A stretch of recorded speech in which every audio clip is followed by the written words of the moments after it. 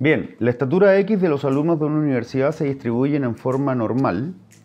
Cuando me dicen eso es campana de Gauss, cuya desviación estándar es 8 y la media 175, o sea, n 175, no, dice n 175, 8. Este es el mu y esto es desviación estándar, ¿verdad?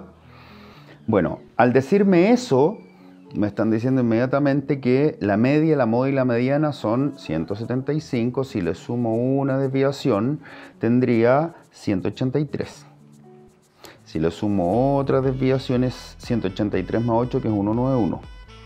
Si le sumo 8 de nuevo, otra desviación, tres desviaciones es 199. Recordar que es mu o promedio, mu más una desviación, mu más dos desviaciones y mu más tres desviaciones. Y hacia allá se hace restando mu menos una, mu menos dos, mu menos tres.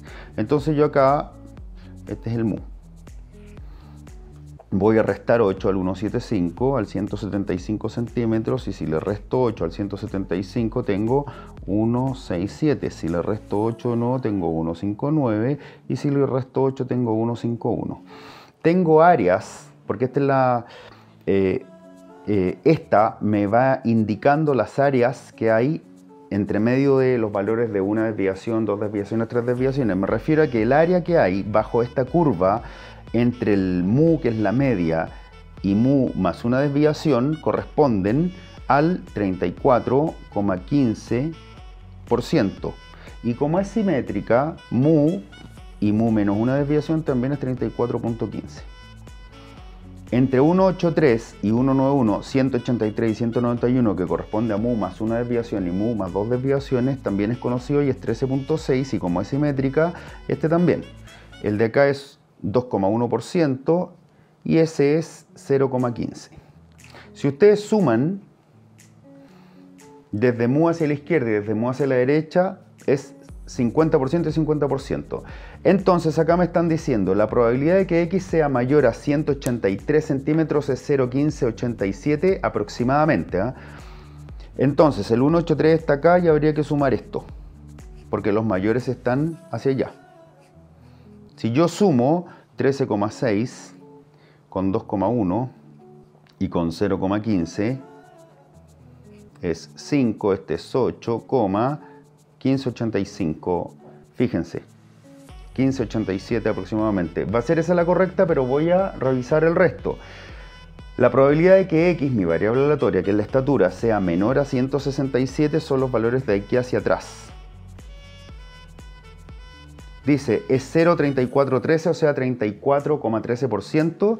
Evidentemente no, porque si sumo 13,6 más 2,1 y más 0,15, al sumar 13 y 2 es 15, 15,7, 15,85, así que esta es falsa. Aproximadamente. Esta no. La probabilidad de que x sea 175 es 0,5. Esto es imposible porque es 0.